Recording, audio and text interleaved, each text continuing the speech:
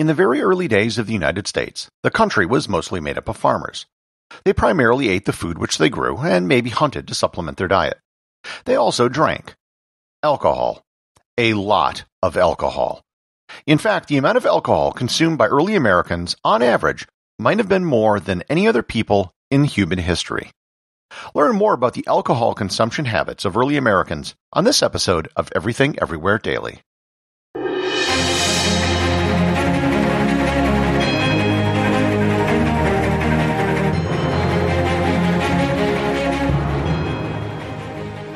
This episode is sponsored by the Restoration Depot. The Restoration Depot is a one stop shop for virtual wellness services that support the social, emotional, physical, and intellectual well being of individuals. They have many online courses covering such subjects as Tai Chi, meditation, yoga, functional medicine, and many others.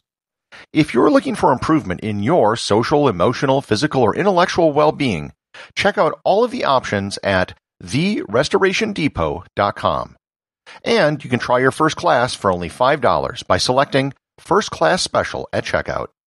Once again, that is therestorationdepot.com. When the very first Europeans arrived in the Americas, they brought with them alcohol. Getting from Europe to America would take months, and that meant sailing, and that meant lots of alcohol on the ship. Most ships didn't carry very much or any water with them, for example, when the Pilgrims set off for the New World, they brought with them more ale than water. Despite the very strict religious beliefs of early American settlers, their religious beliefs didn't include abstaining from alcohol. Far from it, they saw alcohol as natural and a gift from God. Jesus both consumed wine as well as made it at the wedding at Cana. So long as you consumed it in moderation, they had no problem with alcohol. The rationale for drinking alcohol was that water wasn't considered safe. This belief wasn't totally wrong. Prior to the development of modern water purification methods, the simplest and easy way to kill microbes in water was with alcohol. Straight water was almost never consumed. One story is told about an Italian immigrant named Philip Mazzei who caused a stir at a large dinner party in Philadelphia where he asked for a glass of water. He recounted, quote, I perceived some confusion among the servants, and the water did not arrive. The host next to whom I sat whispered in my ear, asking with a smile if I could not drink something else, because the unexpected request for a glass of water upset the entire household, and they did not know what they were about. Unquote. When the first English settlers arrived in America, getting the ale that they were used to consuming was difficult. The ingredients to make ale didn't grow that well in New England, and importing ale from England was really expensive. This led to the consumption of different types of alcohol, and those tastes drove a large part of the colonial American economy. The biggest drink in colonial America, by far, was rum. By the time of the American Revolution, colonists were drinking 3.7 gallons of rum per person per year. Rum is made from molasses, which comes from sugarcane. Rum was first made in Barbados and then imported to the American colonies. However, the demand for rum was such that the first rum distillery was established in Boston in 1657. Eventually, Every town of note in the colonies had their own rum distillery. Molasses was imported from the Caribbean, which formed one of the legs of the triangular trade, which also involved bringing African slaves to the New World. A big part of that trade was turning sugar and molasses into rum. Much of that wouldn't have happened if there wasn't such a great demand for rum. Rum became an early part of American democracy as candidates would attract voters with campaign events with liberal amounts of free rum. The other big drink in colonial America was cider. Apples weren't native to the Americas. The English settlers brought apple seeds over, and within a matter of decades, there were apple orchards all over New England. Unlike rum, cider could be completely produced locally. The vast majority of apple production in the English colonies was devoted to cider. Cider production was already going on just a few years after the Plymouth colony was founded in Massachusetts. Apple varietals were being named just soon after the colony was established the Roxbury Russet in 1634, the High-Top Sweet in 1630, and the Rhode Island Greening in 1650. Producing cider was done on farms in a very simple process. The fermentation usually occurred in barrels over the winter, with honey or sugar added to increase the alcohol content. Another huge drink was whiskey. While not as popular as rum in the colonial period, it eventually surpassed rum as the country expanded westward. Whiskey was a preferable way for farmers who were growing corn or wheat to generate income from their crops. It was far easier to ship whiskey than it was to ship corn or wheat in bulk, and it also commanded a far higher price. One reason why whiskey became more popular further west was simply the difficulty of shipping sugar or molasses. That is why the Whiskey Rebellion took place in western Pennsylvania, and why the American whiskey industry today is centered in Kentucky and Tennessee, both of which were considered the West in early America. George Washington established a distillery on his land and became the largest distiller in Virginia. By 1810, there were at least 2,000 distillers in the United States. They produced over 2 million gallons of whiskey per year. There was so much whiskey that it had sold for 5 cents a gallon by the 1820s, making it cheaper than beer, wine, or cider. It was even cheaper than milk, coffee, or tea.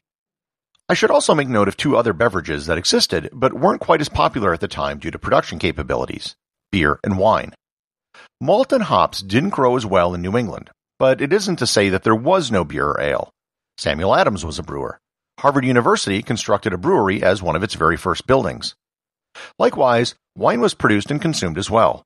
Pretty much everyone was aware that European wines were superior to American wines, so the best wines were always imported. But that didn't stop Americans from making wine. Colonists made wine from almost any fruit they could get their hands on, including strawberries, cranberries, blackberries, elderberries, gooseberries, and currants. Thomas Jefferson imported 20,000 bottles of wine from France for his personal cellar. His records show that he and his guests consumed 1,203 bottles over a two year period at his home in Monticello. The center of most American communities in the early United States was the tavern. It was over drinks that American independence was debated and plotted. The tavern was also the center of social life, and it didn't have the same stigma that going to a bar might have today. You could totally bring your family and children. So, how much did early Americans drink? The answer is a whole lot. Just as an example, we have the receipt from a party held by George Washington in 1787. He held a party in Philadelphia as he was about to go back to Virginia from the Constitutional Convention. He invited 55 people, and the guest list was a who's who of the early founding fathers. Benjamin Franklin, Alexander Hamilton, and James Madison were all in attendance. So, how much did they drink? The receipt from the party included 54 bottles of Madeira wine, 60 bottles of claret wine, 8 bottles of whiskey, 22 bottles of porter, 8 bottles of hard cider, 12 bottles of beer, and 7 bowls of alcoholic punch. That means, on average, each attendee had 2 bottles of wine, about a bottle of beer or cider, and at least a half a dozen shots of hard liquor, depending on how much alcohol was in the punch. The drinking was widespread all throughout American society. It wasn't just the founding fathers. Historian W. J. Rorabaugh noted in his 1975 book, The Alcohol Republic, quote, Alcohol was pervasive in American society. It crossed regional, sexual, racial, and class lines. Americans drank at home and abroad, alone and together, at work and at play, in fun and in earnest. They drank from the crack of dawn to the crack of dawn, at nights, taverns were filled with boisterous, mirth making tipplers. Americans drank before meals, with meals, and after meals. They drank while working in the fields and while traveling across half a continent. Unquote. In 1790, the average American, and that includes all men, women, children, and babies, were consuming 3.5 gallons of pure alcohol per year. When you factor in that uh, babies don't drink alcohol and most consumption was done by adult men, the average adult man consumed the equivalent of 16 gallons per year of 90 proof alcohol. By the year 1820, that had increased to 4 gallons of pure alcohol per year, or the equivalent of 18 gallons per year of 90 proof alcohol for each adult man. This was not normal for this period. Europeans who visited the United States commonly noted the excessive amount of alcohol which was consumed. To put this into perspective, the number one country in the world today for alcohol consumption by adults is Moldova, which consumes only 4 gallons per adult per year. The United States at its peak around 1820 was consuming over 4.2 times more per person than Moldova. And even that is an underestimate because it's mostly comparing beer and wine versus the equivalent of 90 proof alcohol. Just when alcohol consumption was peaking, the opinions of alcohol began to change. Doctors no longer considered alcohol consumption to be beneficial for health. So many people were inebriated, especially men, that it began one of the largest and subsequently forgotten movements in American history, the temperance movement. This, of course, accumulated a hundred years later in the 18th Amendment, which was a horrible idea and will be the subject of a future episode. Today, Americans drink a fraction of what they used to. The United States today is ranked 45th in the world in alcohol consumption, and its consumption is dropping. So, the next time you go out with your friends, you'll probably just have a drink or two, instead of acting like the founding fathers, who would have consumed two bottles of wine, a bottle of beer, and a half a dozen shots of hard liquor each. The associate producer of Everything Everywhere Daily is Thor Thomsen. If you'd like to support the show, please donate over at patreon.com. There is content only available to supporters, merchandise, and even opportunities for a show producer credit. If you know someone you think would enjoy the show, please share it with them. Also remember, if you leave a five-star review, I'll read your review on the show.